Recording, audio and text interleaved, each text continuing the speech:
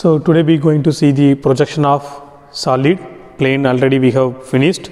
We are going to see projection of solid.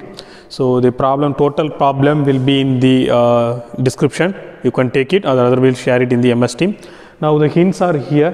It's a hexagonal pyramid. So solid is pyramid and side is 25 mm, axis is 50 mm and edges of its base is on HP. Okay. The axis inclined at 30 degree to HP and which is parallel to VP. Okay. So parallel means it may be like this or it may be like this. Okay. Then we can take parallel.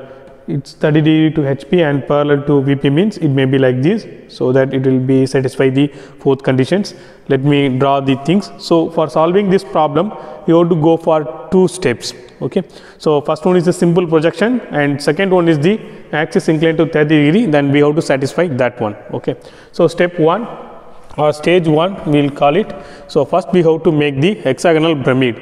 So, which view will give a perfect uh, dimensioning that you have to check whether it's top view or front view. Okay. For this problem when you see from the top view you will get the sides when when you're seeing the front view you will get axis.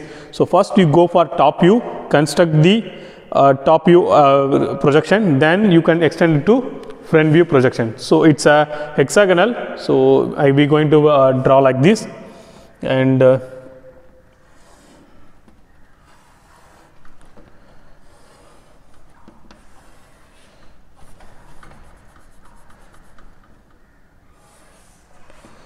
So, I have drawn it is a hexagonal and I going to give the name uh, 1, 2, 3, 4, 5, 6. Remember, it's not a prism, it's a pyramid. Okay, so it may have one meeting point, center point, okay, where everything is going to meet. It should be equal distance, but since I was using my rough calculation at freehand sketch, so it may be like this.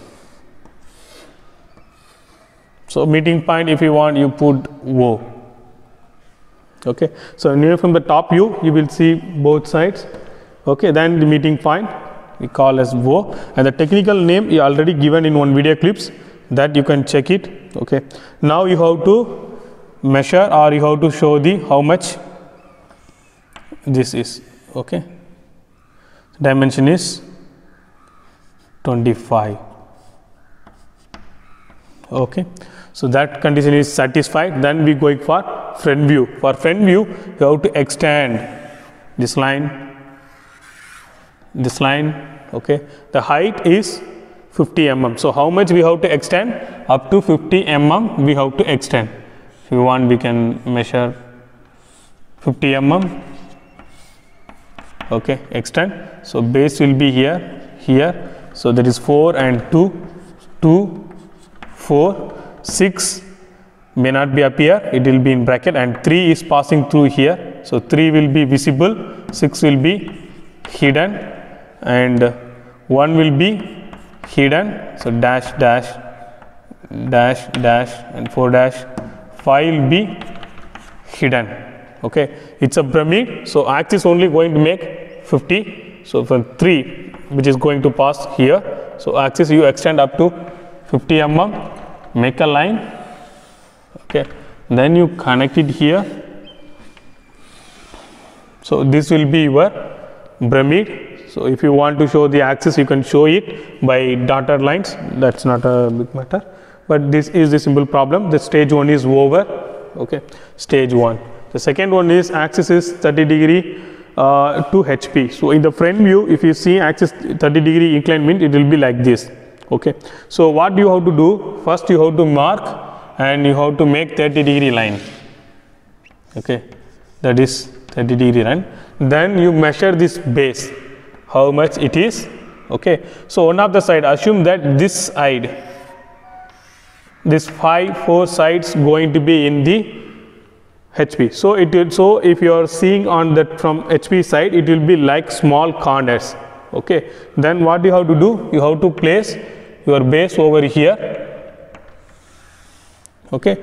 Measure this one and take your compass. Measure this one. Okay. So check from where it will cut in the reference line. Then you cut over here also. Okay? So that you have to check. Then give the names like uh, 4 5 right? So 4 5 place it over here. Then this one is called 3 6 okay? And it is for 1 2 okay then you know that it is 50 mm inclined. So 50 mm measure cut one arc connect it connect it. This is o. Here also i forget. This is o. Okay. Now the problem is almost over. Then what you have to do? So you have to extend the these lines. From o also you have to extend. Then you have to then you have to extend the lines from this one also. Extend it. So it will touch over here.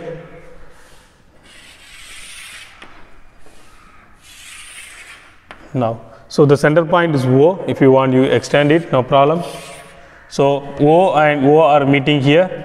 You connect it. O if you want you give o 1 4 5 1 3 6 1 oh 30 degree angle. Okay okay okay 1 1 1 1 dash dash everything is stop right? So put dash dash okay? This is o1 then we have to reproduce this base over here. 1 2 line are here. So where is 1 here it's cutting 1 okay? So o1 1 and where is 2 2 line is cutting over here. So 2 1 okay? This side is over. Then we have to check 6 so 6 1 and it will be 3 1 and here it may be 4 1 it will be 5 1 so meeting points you have to connect. Then you connect. Okay? Then you have to connect this one also and this one also this one and this one. If you see the line which is coming from 2 and 1 will be hidden so for this you have to use dash lines so that we will understand that that line was hidden okay? You can use dash that you can go extend it okay? So this is how we are going to complete this diagram with one angle of one plane inclinations okay? And we have satisfied the condition also. So next problem we will check uh, typical problems because in the pyramid only we have two heights. This is axis height okay another one. This also height. X i am putting now it's x. So we call that as a slant height or slant edge length and whatever it may be. So with respect to also we will see one more problem. Otherwise we will go for some other geometry and we will finish the problem